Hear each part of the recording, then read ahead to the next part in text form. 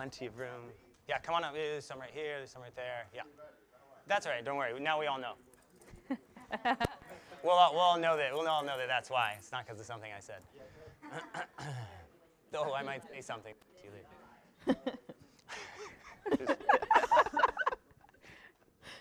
yeah, good.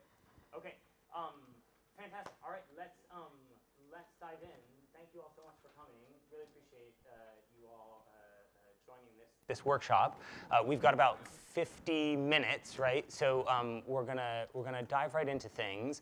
Um, uh, I'll talk about the structure of the workshop in a second, but basically what we're looking to do today is to uh, open up a conversation around uh, sort of privilege, bias, and change, and, and, how do we sort of encounter those things, and how do we maybe have some impact on those things to change things. Um, but first off, before I even get started in the structure of the, the, the workshop or, or any of the details, uh, even introducing the panel, so let's just look at this little um, little thought experiment. Don't don't uh, say anything. Uh, if you, uh, you know, just just process it for a second. So, a father and son are in a car crash. The father dies. The son is rushed to the hospital, but the surgeon says, "I can't operate. The boy is my son. How is this possible?" So take take five seconds. Uh, just think through. Any thoughts? How is this possible? Surgeon could be his mom, right? Surgeon also could be his second dad, right? Could have two dads right? So again, this is a this is a, a, a tiny little tiny little uh, uh, thought experiment, but right, but one that can expose uh, for some of us uh, where we might have a bias around who a surgeon is supposed to be. Right? And there are these things that happen throughout society in so many different ways, right? So bias exists at societal levels, at familial levels, at environmental levels, all, all, all different ways. And this workshop is, uh, is going to try and focus sort of on a specific uh, side of things around uh, how we individually engage with these things. Because they exist institutionally, right? Think about funding, think about promotions, think about uh, hiring, all those different sides of things. But they also operate individually, right? In terms of our own lives and our own experiences. So what we want to do today is we want to, um, for the purpose of these 50 minutes, we want to kind of accept as fact that bias exists uh, and it exists in lots of complex ways. Uh, you know, I could quote to you lots of studies. I could quote to you lots of, you know, uh, facts and figures. Or come, come, on up into the circle, gang. Just so you know, it was only a, only a few uh, few extra chairs. So so please just just jump right in. Um, you know, I could quote to you like, oh, 5% of the industry is uh, uh, female audio engineers, or there's only 2% that are producers. But what we want to do actually is not debate that stuff today. We want to just ask that you accept it for the next 50 minutes or 45 minutes at this point. If, uh, if you disagree, just suspend your disagreement for the next 45 minutes, uh, like you're going to the theater or something. You know, it'll, it'll still be out there uh, outside the door when you, when you come back, yeah? So, um, so if we all just agree that it does exist, then what we want to be able to do is engage in a conversation about how do we talk about these things? How do we influence these things? How do we take individual responsibility when sometimes it can feel hard to talk about, sometimes it can feel confusing, sometimes it can feel like a bit of a minefield to even get into a conversation. So what we're going to do today is we, this panel here, uh, and, I'll let folks introduce themselves, uh, are going to talk for a little bit at the start. And then what we're going to do is we're going to do a couple of different activities that ask you all, and, and you folks online, you'll find the links uh, on the YouTube channel, yeah? So um, we will do an activity that asks you to, to sort of participate in some of these thought experiments. And then we'll get into some small groups to have some relatively brief conversations to just sort of open up some of the discussion based on what the activity was. And we'll come back together, do it again. So we'll do a few of these, and then we'll circle up at the end with some, with some questions. So why don't we just to, to dive right in, let's do a quick round of introductions. So my name is um, someone who uses the microphone often. Uh, my name is Corey Harrower. I am the Chief People Officer at Roli. Um, and uh, I am Purvi. Uh, I am Community Manager. Can you hear me? Yeah. I'm Community Manager at Roli, uh, also a sound tech. I've studied sound tech here and in India, so um, yeah, lots of different things. Hello, my name is Rookes. I am a writer, producer, performer, and I'm also a specialist demonstrator for Roli. Hi, I'm Sarah Gill. I'm Director of Sales at Roli, and I'm also a sound engineer by profession. Great. So, uh, so what I thought we would start with is just to, to kind of dive right into to the experience of some of these folks uh, around, you know, around some of these different issues around privilege and bias and, and, and what their experience has been. So maybe, Rookes, if we start with you, uh, would love to hear about just your experience as a gigging performer Mm-hmm. um, in you know the music industry today, the music tech industry today. What what are maybe some common experiences for you, or some things that you have encountered kind of regularly that, that, that feel pertinent to this conversation? Okay, well, um, in terms of examples, uh, they tend to fall into um, my kind of two areas of intersection. One of which is um, as a as a woman working in this industry, but uh, also as a queer woman working in this industry. Um, as a queer woman, it can often be to do with presentation. So something I've noticed, um, kind of as I move around in the industry, is uh, I used to be a lot more feminine presenting than I am now. Um, I'm quite androgynous, as you can see. Um, but when I used to have longer blonde hair, uh, my blonde hair had always been something of a beacon for um, strangers shouting things at me, often in the street, often on the daily. And, uh, and since I cut my hair back, um, I noticed that just kind of the way that men interact with me is very different. Um, I find that I am being talked to rather than talked at. Um, I also find that men are more willing to make eye contact with me, which was a rather pleasing development, but a little bit kind of like oddly surprising, a little unsettling. Um, in terms of just being a woman in the industry, the examples are endless, but I will just pick a few. Um, in terms of, for example, I'm, I manage my own project, and that's something that I've chosen to do partly because I think I do quite a good job at it. And uh, but interacting with um, promoters and venues to book gigs can sometimes be a bit of a gauntlet, especially if you're trying to contact them by email. I found that when I signed off as myself in the emails, I found it quite hard to uh, get any responses back. However, when I invented a male colleague called James, I had a roughly 30% increase in return in terms of responses, um, even to something as simple as an inquiry. Um, I have also, uh, you know, my performance name and my producer name as Rookes is gender neutral and it's plural. So often I have been booked before, clearly without much investigation, by promoters who thought I was an all male indie band. And then, uh, and then expressed some disappointment to my face that I was not an all male indie band, or even just a woman fronting a male band, um, which was quite a shocker. And um, and again, that rolls over to things like there have been times when I've not been able to book venues, and the only way I have been able to book venues is when I've had, I've asked a male friend to book them for me, using the same money, but somehow because it's coming from a male bank account, that is acceptable, whereas coming from my bank account, apparently not.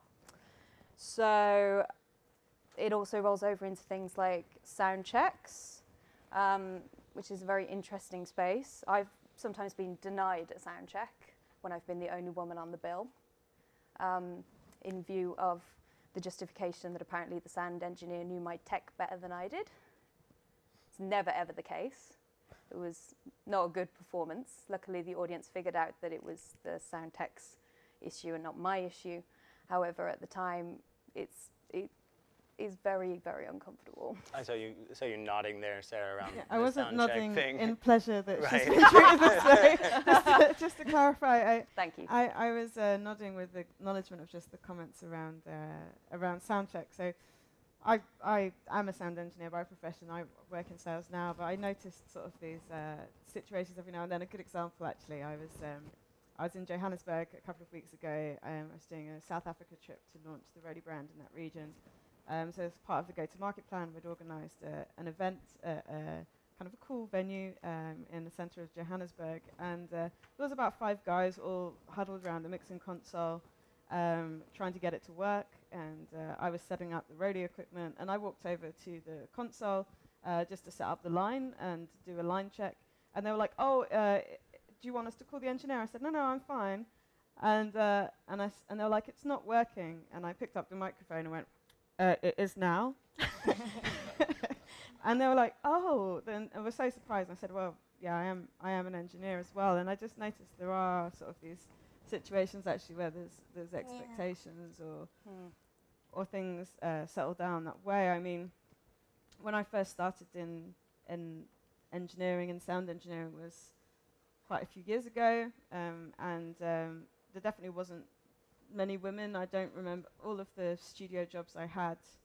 and pretty much all of the courses that I was on uh, were always an all-male environment. So I guess I've got used to it over the years, and um, to the point where you don't really notice. And that's why I think the exercise here today is quite good because I think there's actually a lot of times where we don't actually notice some of the things that happen or the language we use or the way things are that shouldn't necessarily be like that. Mm. And um, I think now I've because I've been in the industry, you know, before Roli as well. I've worked for other businesses in the industry, so quite a lot of people know me now. So I don't feel like I have to jump through as many hoops. I think I definitely did when I first started to prove that Mm. I know what I'm talking about or I understand the different terms, terminology as equipment and, and Yeah. everything about the industry. But I think it's I think it's really interesting as an industry and as a community to think about these things in, in terms of actually how they reflect and interact with our with our daily lives and how we go about things and just Yeah. improve general communications and these biases, you know, we're talking about them in a context here, but these biases seriously affect our decision making and I think as a Mm. as a room of you know, intellectual people that are doing some amazing creative things out in the world. It's good to challenge your biases and think more intelligently and creatively around every decision that we make. So that's what I think. it's Purvi, Purvi, you were saying because I remember you talking about sort of courses and that kind of thing, and Mhm. Purvi, you actually did a degree. Yeah, Right, we went to the same university. So, yeah, I studied sound technology in India and in UK. And in India, the bias was more in your face, like uh, no women in the studio after 10 p.m. or you know, like if they'd laugh at you if you asked even a basic question. So you couldn't get away with that here. But um, here, uh, there was a common theme that carried over, and that was of um, assumptions. So as soon as you enter, you're like, you're someone different. Um, you're, you're not like others, or you're not the normal. And um, you know that's that's quite that's quite an interesting thing. So for you all to relate, I would say um, think about being a new kid in school and um, immediately you're, you're different. Um, you're assumed stupid. You're here by chance, or you need to be explained things differently or better, or behavior is different around you. And imagine the rest of the years, all you have to do is you work in groups, you work on assignments, and you have to prove that, hey, it's okay, you don't have to explain that to me more than once, or we're good, like, I'm normal, I'm like you. Um, so that sort of um, battle of constantly changing people's mind or assumptions, um, it's quite exhausting. And then on top of that, I'm uh, from India, I'm brown, uh, I'm a brown woman, so there would be this, um, this like, I'm so surprised you're so good, and then I'm so surprised you're so good, but you're an Indian woman and I don't date Indian women. And it's just like, I don't really want to date you, or I wasn't really talking about that. but that's like the added thing on it. Like, hey, you're like on the top of the shit pile. Good for you. So, And, uh, what uh, just uh, and again, then we're, we're gonna segue into uh, into a, uh, getting folks into groups. And I'm gonna pull in everybody into this center circle. Um, also, because you then went directly from university into working at Roli, right? yeah. So um, I actually was not gonna apply for the. So it was a my first role at Roli was in the support tech support role. And I wasn't going to apply for that role because I was like, ah, it's just going to be a boys' club. It's the same thing over again. And um, my husband, who um, is also sound tech, uh, said, Purvi, um, you did a research on uh, how to use touch in sound tech. Like, this is the job for you. You need to go. So I applied, and it was interesting. You know, as a community, Roli is pretty aware of these biases, but um, our customers are, you know, would assume that I'm male because my name is Purvi, which people don't know is a female identifying name here. Uh, the feedback would be like, um, uh, Purvi, like, because it would be over email and chat. Puri was amazing. Give him a raise and whatnot. And that was really annoying because, you know, I worked so hard to get here, and I had to like battle all those assumptions. So we did an experiment. We were a mixed gender group uh, on the support team, and we were um, different names. So I was Victoria, who was a sound tech I know. Um, then there was Emily, Michelle, Madeline, whatnot. And it was very interesting, uh, the responses people got. Like, Victoria was kind of out of people's league, so everyone was very smiley and nice and sent me a lot of um, emo- emo- emo- emoticons, how do you say it? And then uh, Emily got asked out on a date. Uh, Michelle got uh, strange photos being sent to her. Uh, Madeline had a stalker who came and spoke to her every day. So it was very interesting. It was interesting to see that. Yeah. Emily slash Dave.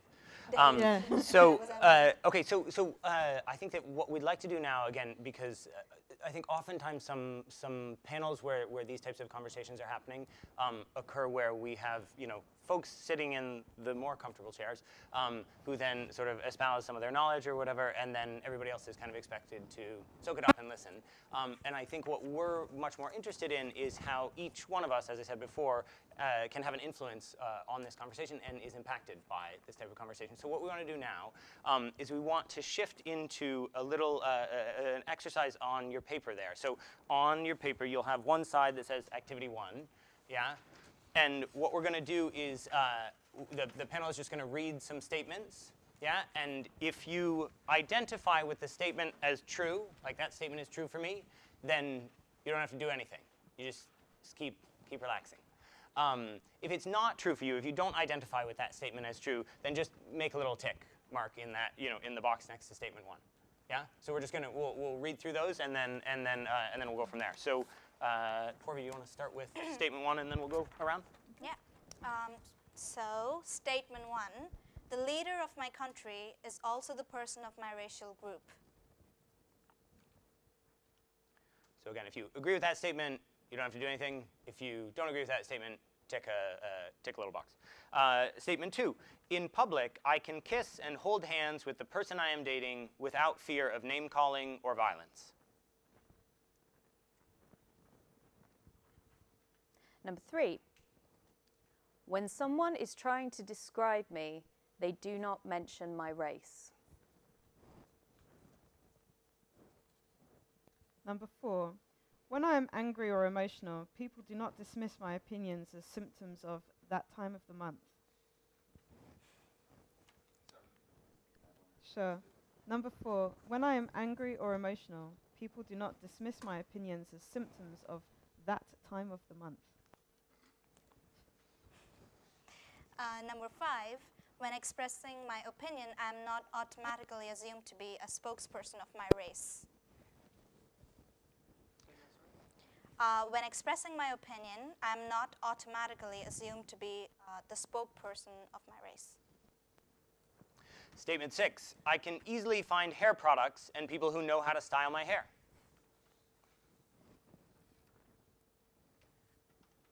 Number seven, if I am going out to dinner with friends, I do not worry if the building will be accessible to me. Number eight, I can be certain that when I attend an event, there will be people of my race there. Number nine, people do not make assumptions about my work ethic or intelligence based on my body.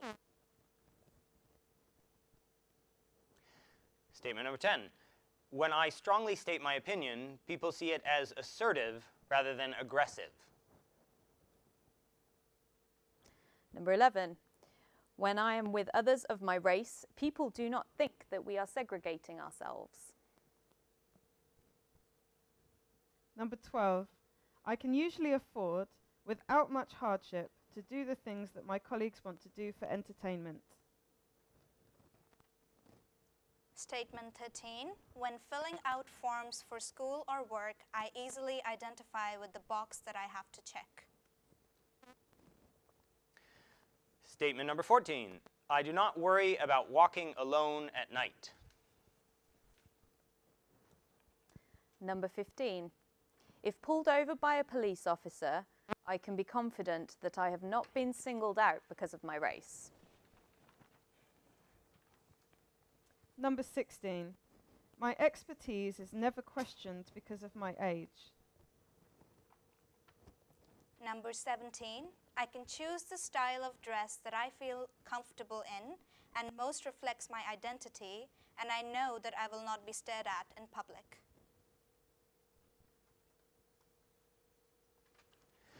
Statement number 18 People do not make assumptions about my intelligence based upon my style of speech. Number 19, I can book an airline flight, go to a movie, ride in a car, and not worry about whether there will be a seat that can accommodate me. Number 20, people assume I was admitted to school or hired based upon my credentials rather than my race or gender. finally, number 21. As a child, I could use the flesh colored crayons to color my family and have it match our skin color.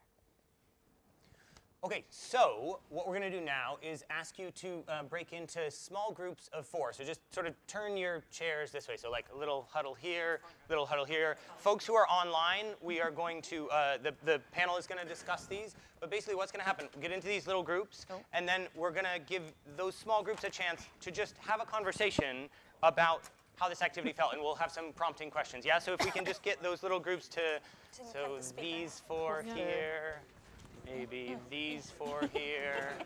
Oh We'll God, figure out wires sort of if you have to do I five, to that's cluster, so five. If you you have to do cluster. five, that's okay as well. There we go. Yeah, maybe maybe maybe we could do two Hello, cluster. groups.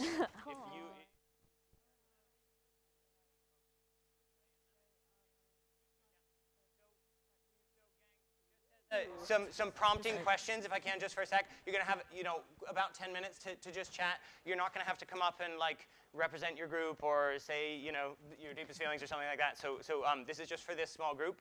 And basically, the questions that we want you to think about: one, how did you feel doing this activity? What was your experience like? Um, how was it to consider the number of tally marks that you had on your page?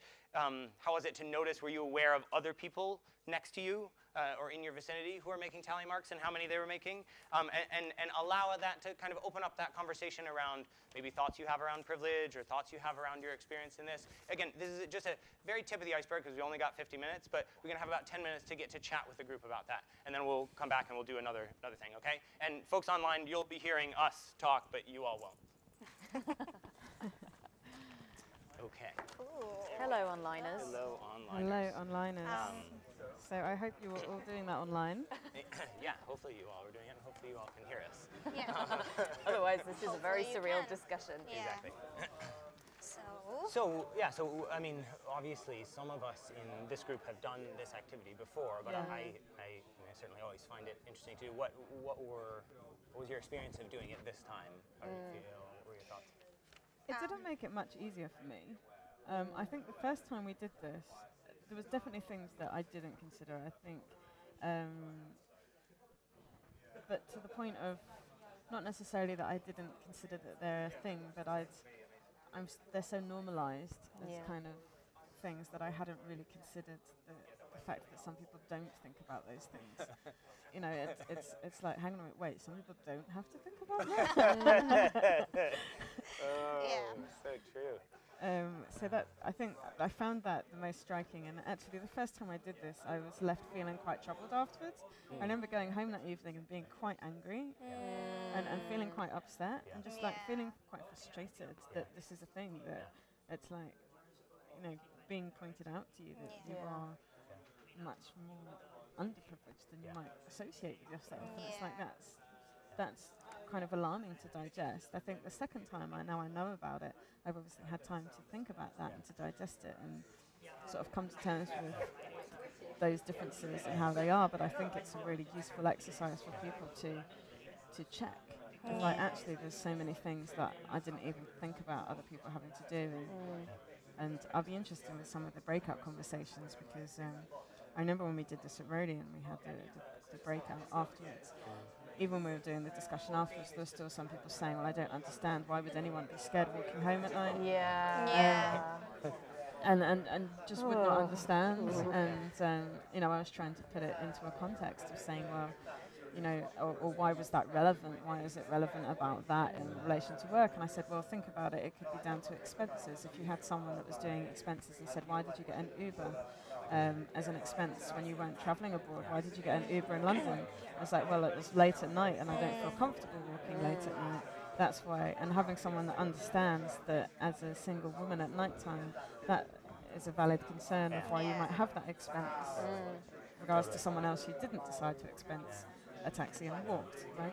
So it's, it's these kind of little everydays that I think it's worth bringing us back to how it's Yeah. relevant. Yeah. But I mean, what was your experience? When I did this exercise for the first time, um, I mean, I was aware of these things, but when you see how many ticks you have compared to others, the interesting bit is um, you start to think like, uh, oh, okay, this is why um, I have other different behaviors around men in my company, or like I'm nervous around them because maybe I'm scared of them in general outside or something like that. So it, it just made me realize like there's so many other little behaviors I have that come out in the workplace, even though it's a safer setting, Yeah. um, because I have that in, out in public. Yeah. So um, yeah, that, that was like the most. Uh, Yeah. Oh no, I need to do something about that. So I'm giving my full self to the work. So that was very interesting. Yeah. I think it's um, it's for me. I mean, I knew I was going to come up at about half. That was what I anticipated, and that's what happened. Because I thought, you know what, there's some stuff that definitely does not affect me because I'm white. It's literally that simple. But um, I'm white and Western. But at the same time, I, di- I find it kind of. It was almost like an emotional, like feeling of shock the first time I read it all the way through because I thought, partly because some of these things have are clearly uh, to do with survival techniques that have become so normalized, they've become so subconscious that you just, it's like asking a fish about the water, you just don't notice them until someone points them out. Um, versus like a, a couple of questions are things that, for example, I've ended up having fights about with partners and things like that that are almost like they're so relevant that they would affect our day in, mm. day out existence and dominate our public interactions. I mean, in my case, that's number two.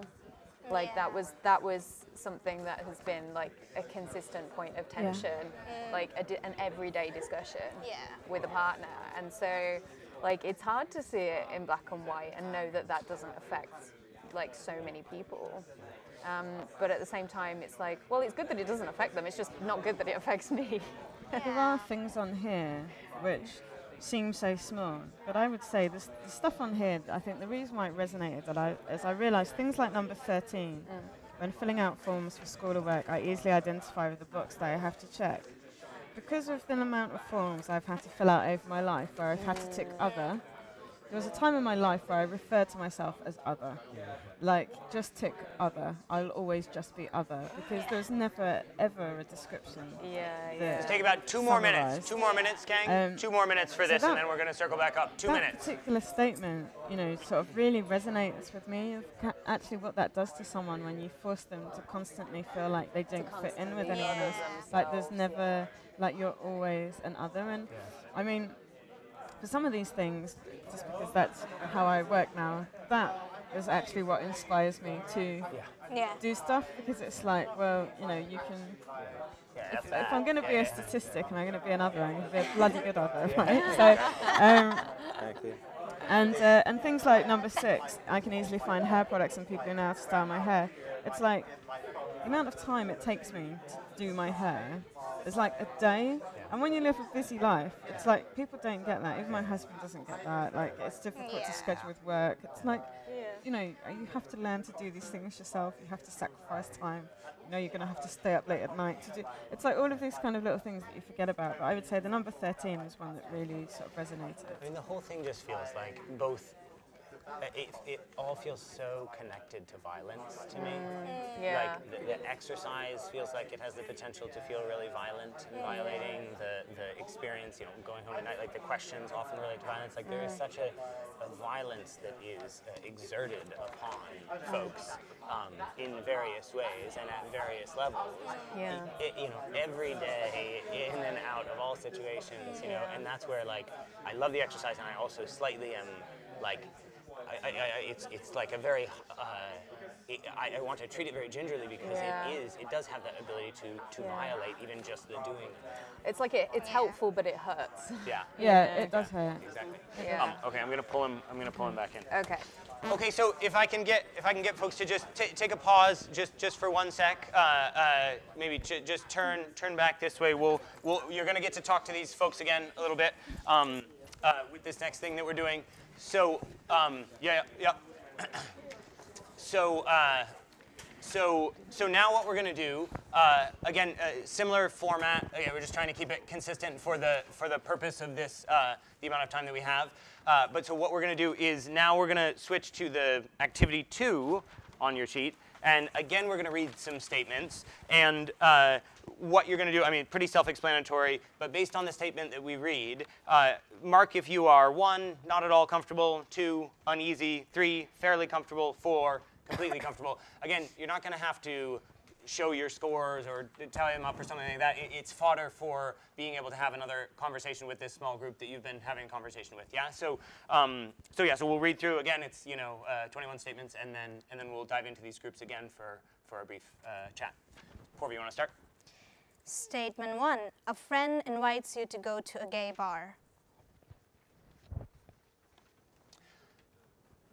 Yeah. Uh, can we get a little bit more on the mic? Actually, there you go. Hello, hello. Hello, hello.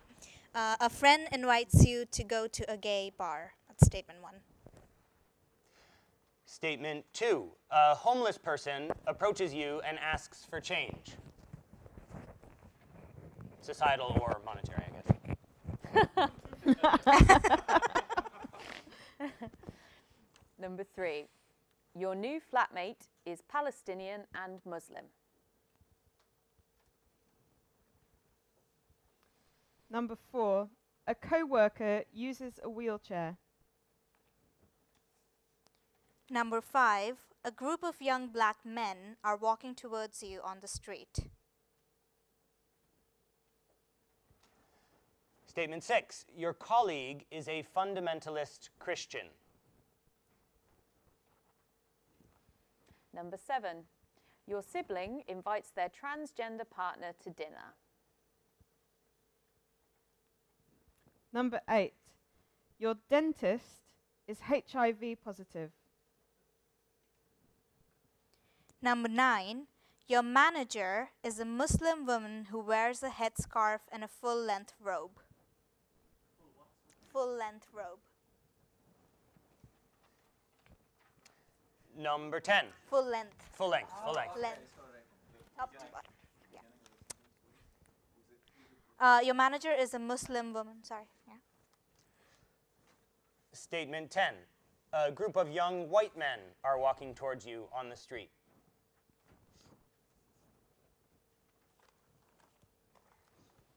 Number 11, the young man sitting next to you on the airplane is praying quietly in Arabic.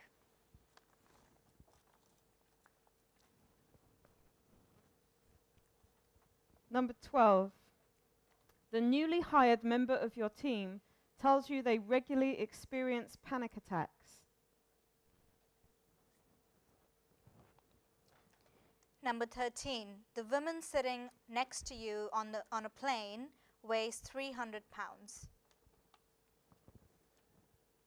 Number 14 Your brother's new girlfriend is a single mother on welfare.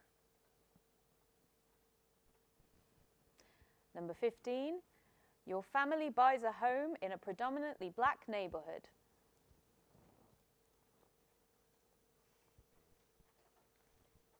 Number 16, your black flatmate gets a full tuition minority scholarship.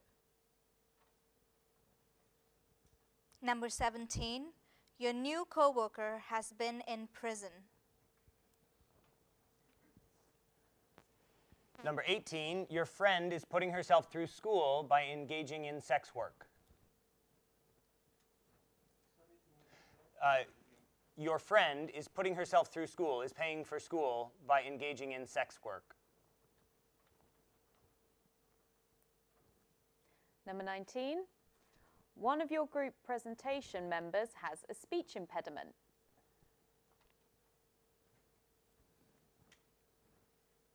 Number 20, a member of your company's executive team is visually impaired. Number 21, and the last one. You are asked to prepare a presentation on diversity for your community. Okay. so, uh, so again, 21 questions. Here they are in case you want to reference them. Uh, we're going to do the same thing where in that same group of people that you were meeting with last time, uh, the, the prompting questions for you to talk about off the back of this activity, you know, were you surprised by the numbers that you saw? Um, you know, were there particular questions that felt easier to answer, more difficult to answer? Um, you know, what was the what was the experience across the group? Was it common? Was it did it vary? And again, uh, you know, the the purpose of the exercise is not to judge that you know four is good and one is bad. The purpose of the exercise is to encounter, right, is to encounter the questions and, and try to see what that encounter feels like, right? So, um, so we're going to have 10 minutes again to connect as a small group. Um, you're not going to have to present or anything like that. Same thing. Just connect as a small group around this activity, and then at the uh, at the finish of that, we will have a little bit of time to um, to field some questions, and we're going to ask that we do those questions digitally. Um, there's a link which we will put up on the screen, just so that people who are joining us digitally can also submit questions if they want to have their voice heard. Um, but yeah, so why don't we go into the small groups, and we'll have about uh, nine ten minutes to be able to talk in that way.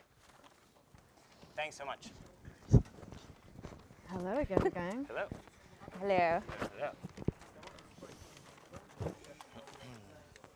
This exercise, even though I've done it three to four times, still makes me uncomfortable. this one makes me less uncomfortable than the first one. Yeah. I mean, actually makes me less uncomfortable than the first one as well. Yeah. I'm with you on that. yeah. I feel like with this one, I there are some which maybe because of having had the experience, I mm. feel like I can answer quite credibly, and then Yeah. there are others where maybe I want to think that. You know, yeah, that'd be fine. You hope And then- you'd Yeah, I hope that I would respond in that way, but then Yeah. I, I sort of, that's when I kind of feel like, well, actually, you know, am I really, am I really that, that, uh, you know, able to, to, to not be affected? Um, How enlightened am I? yeah, or yeah. Yeah, just, I mean, I know there's, there's, for most of these, I'm pretty comfortable and I can relate it to real world experience, but I know there's some where I, I would feel uncomfortable. yeah. Um, and there's some which it's because of experience that I would feel uncomfortable, and some of them, you know, it is it is probably very selfish why I would feel that way. Uh, you know, which is also interesting to consider how that feeling would make someone else feel. For Right. instance, obviously, I travel quite frequently on airplanes, and it wouldn't bother me if someone was praying quietly in Arabic, but it would bother me if someone who was 300 pounds sat next to me, just because I've been on a flight where I sat in the middle of two people that both were 300 pounds, and for my overall flying experience, Yeah. it was quite uncomfortable. Yeah. But I probably focused more on how I felt uncomfortable than how they probably felt uncomfortable. The fact that they knew Right. that I was uncomfortable, yeah. if you get what I mean, because Yeah. that must also be a really awkward. Like, you can't suddenly not be 300 pounds to get on the plane, and if you know that the person in the middle is most uh, indignant Yeah. that you are sharing seats now, Right. You know that obviously makes them feel really uncomfortable as well. And I probably didn't think about that at the time. I've more thought about my own personal space and freedom being compromised. Yeah. So it's, it's interesting to kind of reframe some of these assumptions into the other point of view. Yeah. Yeah. It feels like with that one, you know, t- for me, it kind of raises the question around what we hold people accountable for uh, uh, in either societal or institutional ways that they may or may not have any control over at all, right? So, you know, there are various structures which um, force people to be accountable for something that others don't have to be accountable for, and neither of them have done anything to actually merit that sort of um, oppressive accountability, right? Yes. Uh, Oppressive accountability. I like that. I'm recycling that. yeah. The one I keep changing my answer on is that you are asked to prepare a presentation on diversity for your community because I've done this twice. you're like, how's it going? I'm not sure. Or now I'm like, really, I should be too, because because it's so funny being the brown person doing that. Even though I'm like, I just can put things in that I know will make sense, but Yeah. at the same time, being that person is so much pressure. 'cause, Yeah.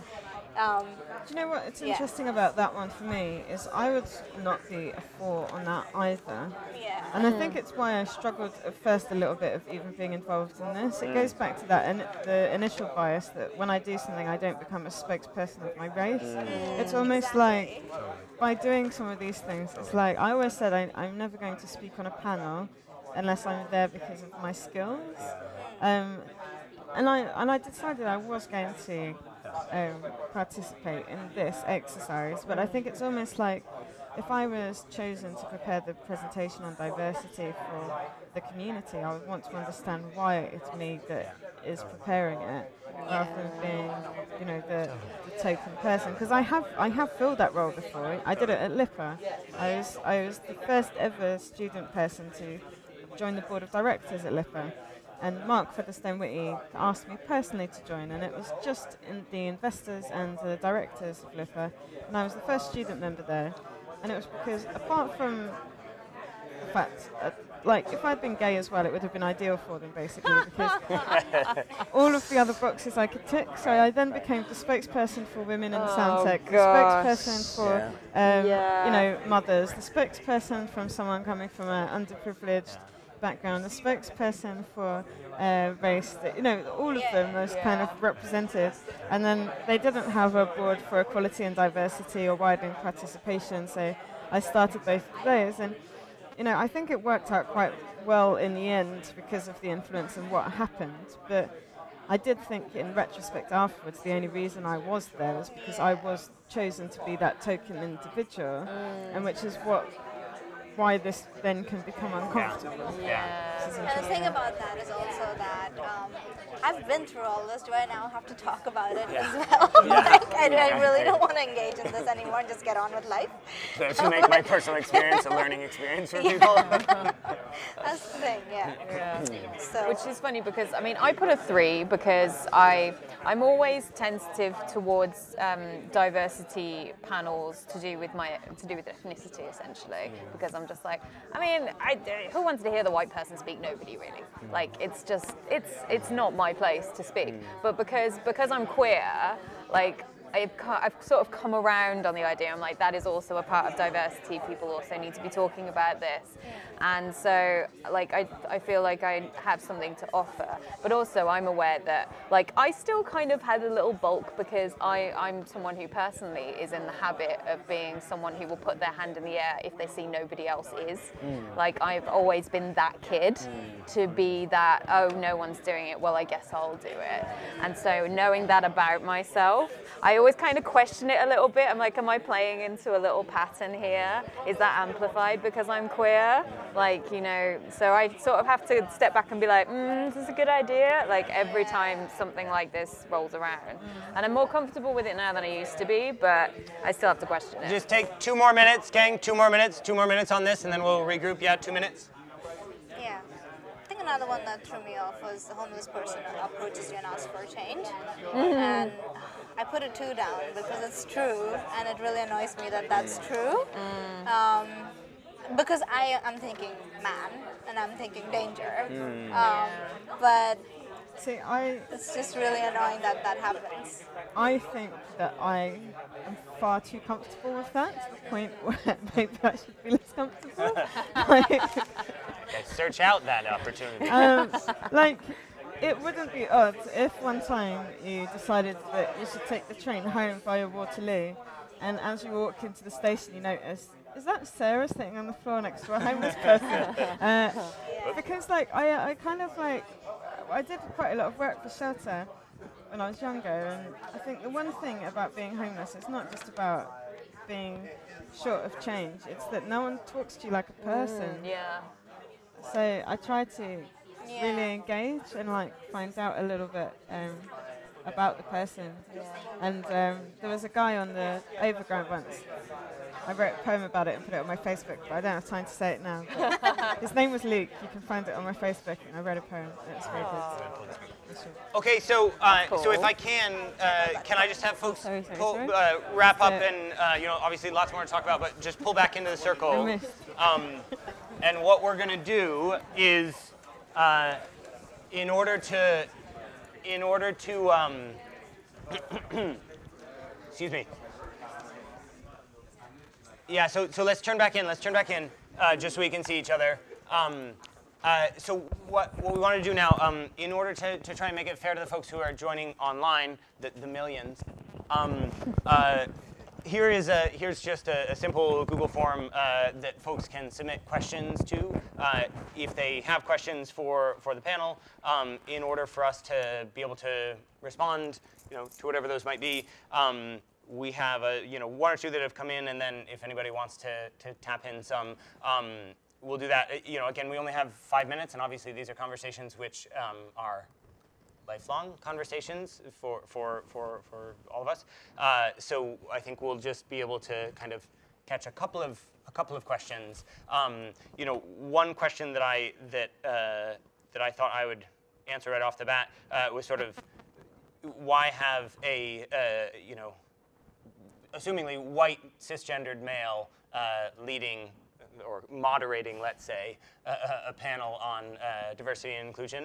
Um, and I think that the, the brief answer would be that, um, you know, I think uh, in an industry like the tech industry and the music tech industry and the music industry, um, which is predominantly white and male, um, my argument would be that um, there is some sort of balance that needs to be found, and this is a balance that I would say I struggle with every day, of where I need to be accountable and responsible to sit up and shut up, um, you know, or uh, uh, you know, step up and step back uh, uh, around uh, my role in this and my um, my responsibility around trying to be a part of the conversation without trying to dominate the conversation. And one of the things we were talking about in the group was not having this type of scenario where you've got a bunch of, you know, women, black and brown folk who are here to sort of educate uh, folks about their experience. Purvi was talking about not having your personal experience turn into a learning experience. Um, and so, so for me, uh, that was why it felt like, especially with a community of audio developers, which often is a, is a more homogenous community at this point in society, uh, that's why that felt important. Um, another question that came through on uh, was um, uh, at a company, at, at, my company, we're mostly white and male, but we want to make a change, but we just don't get the applications. Um, how do these systemic issues get addressed? Like, how do we, how do we change, how do we change the paradigm? Um, any, any thoughts there uh, from the assembled panel? Yeah. Um, I think part of it is to do with um, we need to pay attention to where we're advertising and how we're sharing that information. At the end of the day, if you're um, if you're sending your adverts to um, obviously to places like LinkedIn and things, but to audio magazines where you're predominantly going to be bought by people who look like you, then um, those are the people who are going to make the applications. Mm-hmm. So I think you need to think a bit creatively and you know kind of really get your heads together to think about where you are sharing information about the fact that that job is available. Um, interestingly, I found out about this job with Roli through um, someone who was um, who was non-binary and who was studying music. Um, and they'd heard about it because Roli had um, run some workshops with the course that they were taking. So it's to do with how, how are you spreading your information, where are you spreading your information? Uh, so another, Oh, uh, another question: uh, Is this a is this and these topics is that a music tech issue or is it more just an issue in society? Like, what's the what's the relationship between it being a music tech industry issue or, uh, or Sarah? How about you? Thanks, Corey.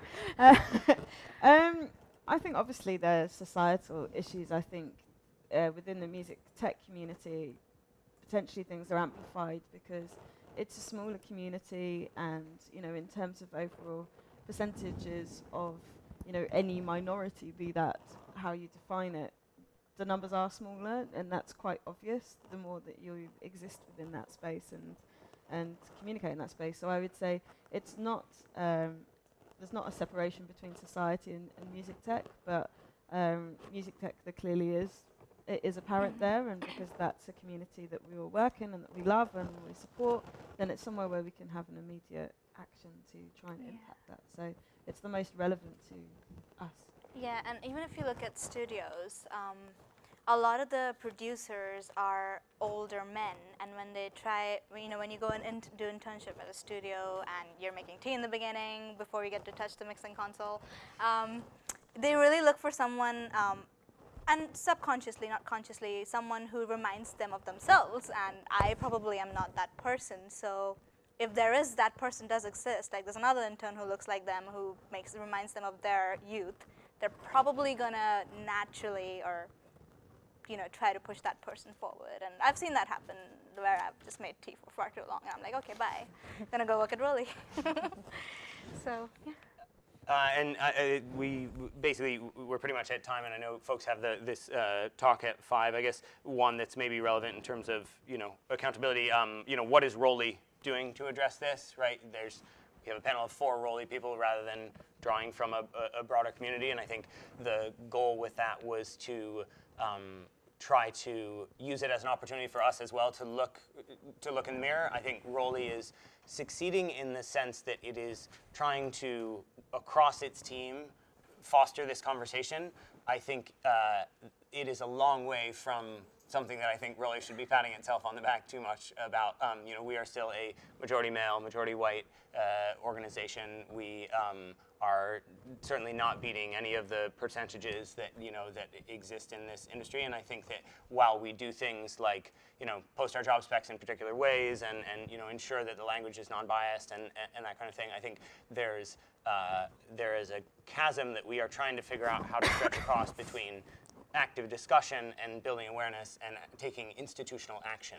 Um, and if anybody wants to talk about things like quotas or something like that, would love to, to discuss perhaps over a tea. Um, uh, so yeah, I mean, I think we I think we kind of have to to wrap now, um, uh, just because of time. But uh, thank you all so much for coming. Really appreciate it. I know this stuff is hard to talk about sometimes, and really appreciate everybody's willingness to go there. And thank you to everybody on the panel.